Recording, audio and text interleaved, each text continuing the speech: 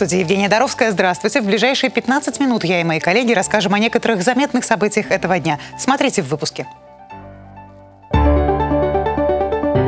Большая вода пришла в Черыш. Когда ждать эвакуации? Урок «Жестокость». Он сидел на уроке, ему стало плохо, он упал. Учительница решила литературы, что он уснул. Какие нарушения выявила прокуратура в школах края и какое наказание ждет сотрудников? Первопроходцы. Не просто в это поверить, глядя вокруг, но место, на котором мы сейчас стоим. Каким будет первый туристический маршрут в будущем национальном парке в Тогуле? Итак, подтопление началось в Черыше. По словам жителей, большая вода за день спала на десяток сантиметров. Но, тем не менее, люди боятся, что за ночь их оставят один на один со стихией. Как нам сообщил один из местных жителей, подтопление поселка произошло из-за того, что дамба на реке недостроена. К слову, это то самое защитное сооружение, которое обещали возвести еще после разрушительного домоднения 2014 года.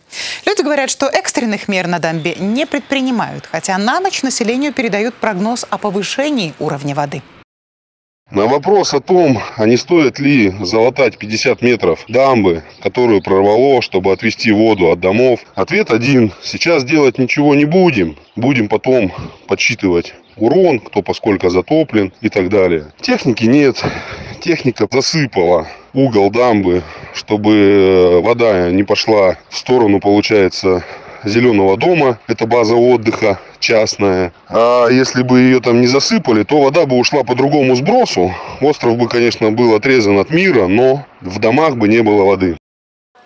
Ведется работа на дамбе или нет, в администрации района узнать нам не удалось. Глава Александр Ездин весь день был занят, а в местном отделении МЧС комментировать ситуацию отказались. Подтопило ли жилые дома, тоже непонятно. Жители говорят, что да, в краевом управлении МЧС заявляют обратное. Организовано регулярно информирование населения о складывающейся обстановке, о подготовлении случаев эвакуации в пунктах временного размещения.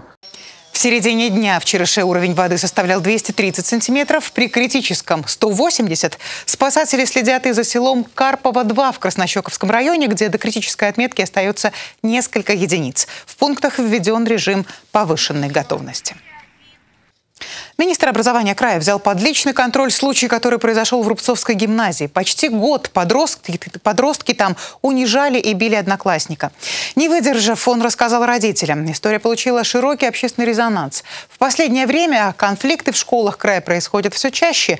Прокуратура Барнаула в связи с этим даже провела проверку в образовательных учреждениях. Какие нарушения выявили и что теперь ждет руководство школ, расскажем далее.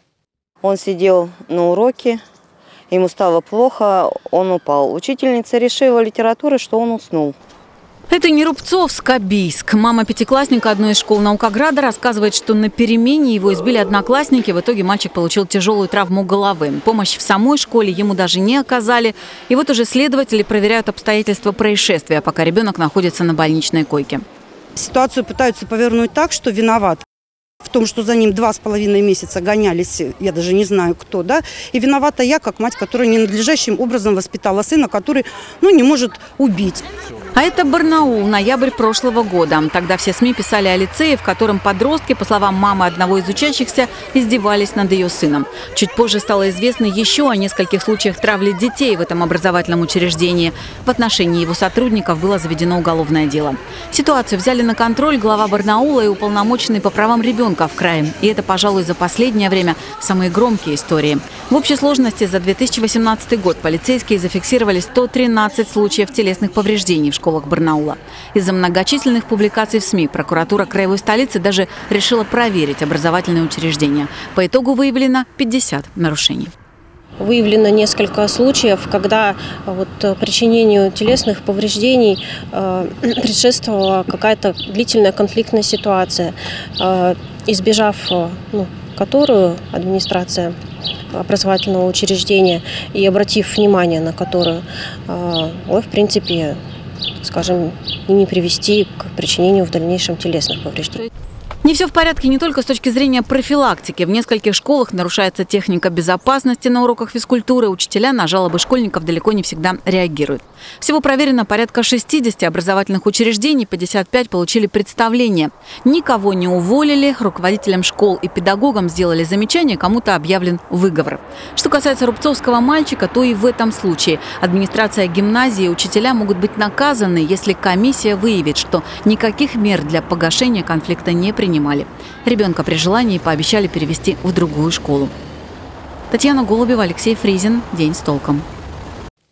В Барнауле судят пьяного водителя, который устроил ДТП с двумя пострадавшими. Они прошли долгую реабилитацию и требуют приговора лишения свободы виновника аварии. Накануне в Барнауле прошло судебное заседание. Стороны выслушали наши корреспонденты. Находясь в состоянии опьянения, управляя технически исправным автомобилем Toyota Nadia, эта авария произошла 14 января на перекрестке улиц Кулагина и Калинина. Со скоростью 100 км в час пьяный водитель на «Тойоте» совершал рискованные маневры и перестроения. В один из моментов он не справился с управлением и вылетел на встречную полосу, врезавшись в автомобиль, в котором ехала семейная пара. Муж получил многочисленные переломы, жена перенесла разрыв легкого и удаление селезенки. Мы не успели среагировать, какое-то белое пятно на лобовое столкновение. Получается, я считаю себя неполноценным человеком, у меня удалили орган. Я физически ограничена общение с ребенком, то есть воспитание ребенка. Он изменил полностью как бы нашу жизнь, нарушил, отнял здоровье. Каких-то искренних а, сожалений, расканий не было. Такое ощущение, что он сбил собаку на дороге. Надежда и ее супруг до сих пор не могут отойти от шока. Говорят, выжили чудом. Сработали подушки безопасности. А вот обвиняемый, по их словам, коротко извинился на одном из заседаний по настоянию своей жены. Он и его защитник пытались выступить и против съемки нашего телеканала в зале суда. Подсудимый заявил, что не хочет, чтобы его показывали по телевизору. Но судья работать оператору все же разрешила. Он также пояснил, э, что да, он выпил 100, может быть, больше грамм водки, после чего э, сел за руль автомобиля и направился в сторону дома. Я даже не знаю, как выразить ну, наглость, возможно, человека, который сел пьяный за руль, сознавая и при этом при... все это совершил и э, так легко об этом сегодня э, говорил. Несмотря на внушительные штрафы и уголовную ответственность за езду в алкогольном пьянении, водители продолжают садиться за руль под градусом. И это уже не первый случай в Барнауле. Осенью прошлого года жертвами пьяного лихача на БМВ стали женщина и две девочки, в машину которых врезался нетрезвый Александр Руденко. Министр спорта Алексей Перфильев на этом суде не случайно. В обеих авариях пострадали и погибли близкие ему люди. Авария коснулась моих коллег. Перед этим моя семья тоже перенесла подобную аварию. У нас почему-то сторона виновная зачастую пользуется какими-то льготными условиями, что по предыдущему суду как бы три жизни ушло, двух ребятишек маленьких, как бы мамы, да, а человека практически оправдали, отправляют на поселок. Пострадавшие в ДТП требуют наказания по всей строгости закона. Заседание суда, на котором вынесут вердикт виновнику, состоится 23 мая. Дарида Миллер, Александр Захаров, Николай Шелко. День с толком. Вторая семья из Алтайского края просит ускорить процесс регистрации препарата «Спинраз» в России. Это единственное лекарство, которое может помочь при очень редком и смертельном заболевании спинальной мышечной атрофии. Что делают родители больных детей, когда ждать уже нельзя, расскажет Ирина Корчагина. Трясти, трясти, трясти, трясти, трясти. У этого счастливого ребенка недавно появилась надежда на жизнь. У Матвея Чепуштанова смертельный диагноз – спинальная мышечная атрофия. Это очень редкое генетическое заболевание. Обычно таких детей ждут питание через трубку, вентиляция легких, летальный исход. Единственный препарат, который мог бы поддерживать жизнь спинраза, стоит 42 миллиона рублей. И он только проходит регистрацию в России. Я Родителям Матвея удалось невозможное. За пару месяцев они собрали 17 миллионов рублей, писали письма во все фонды страны, обивали пороги чиновников и чудо Минздрав направил Матвея на лечение в Израиль. Сейчас в клинике Шнайдера ему ставят тот самый дорогостоящий препарат спинраза. Первые четыре укола оплатят из средств федерального бюджета. Семья верит, что лекарство все-таки завезут в страну, и оно войдет в список орфанных, то есть редких, и станет бесплатным. А это Амир. Ему почти два года, и у него тоже спинальная мышечная атрофия. О смертельном диагнозе сына родители узнали только спустя пару месяцев после рождения. Страшно представить, что чувствует человек, когда его ребенок с каждым днем угасает и теряет элементарные навыки. Если раньше Амир умел ползать, то есть полноценно, там на далекие расстояния, а сейчас он этого не может делать. Раньше он пытался вставать на коленочки около опоры, сейчас он тоже этого не может делать.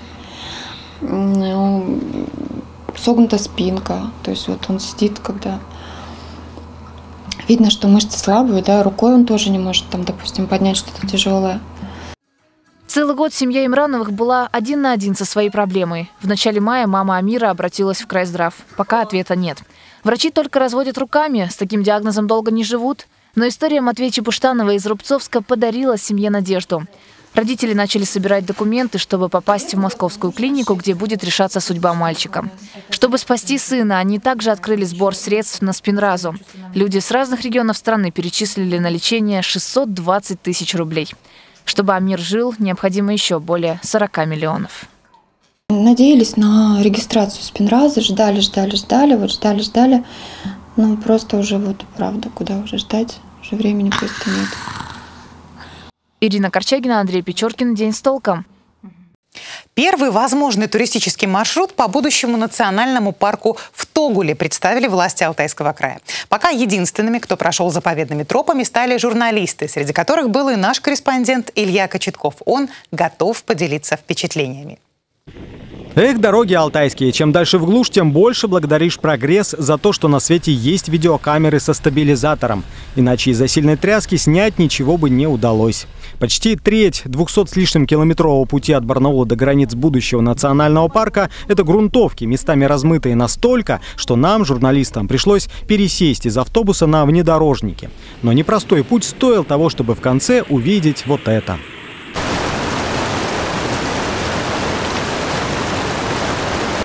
Переправа через реку Уксуна – это лишь начало одного из будущих туристических маршрутов, которые пройдут по будущему национальному парку.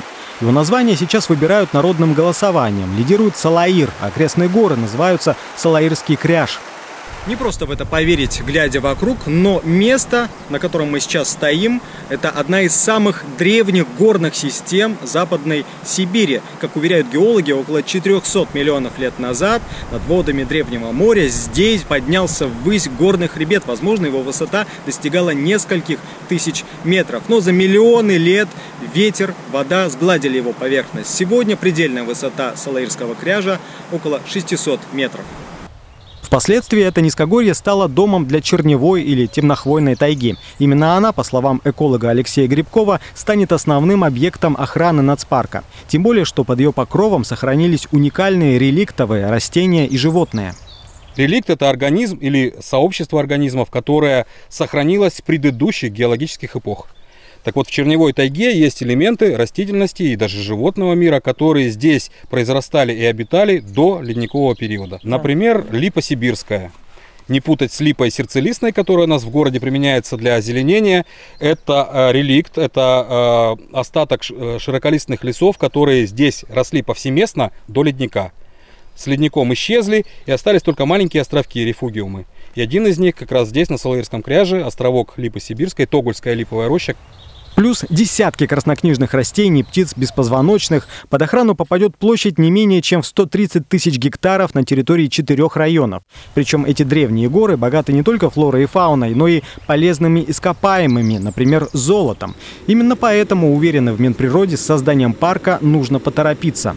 А если мы сейчас посмотрим в целом на Салаир и посмотрим на него со стороны Кемеровской области, мы увидим все эти угрозы и увидим, что стало точно такой же тайгой. То есть все в разрезах, все в карьерах. Вопрос именно в выборе, э, ну, к чему мы стремимся в будущем. То есть или мы сохранить хотим здоровую природу для своих будущих потомков, или мы хотим какой-то получить временный экономический эффект. Впрочем, на экономический эффект власти тоже рассчитывают. Федеральное финансирование позволит не только усилить охрану от браконьеров и черных лесорубов, но и создать инфраструктуру, проложить дороги, привлечь туристов. А значит, в ближайших селах, таких как Тогул, появятся новые кафе, гостиницы, сотни людей могут получить работу. Насколько успешно получится осуществить задуманное, должно стать ясно в ближайшее время. В Минприрода надеются, что официальное открытие парка состоится до конца текущего года. Илья Кочетков, «День с толком». Спонсор прогноза погоды – Банк Восточный. Какой она будет, узнаете через несколько секунд. У меня к этому часу все новости. До встречи.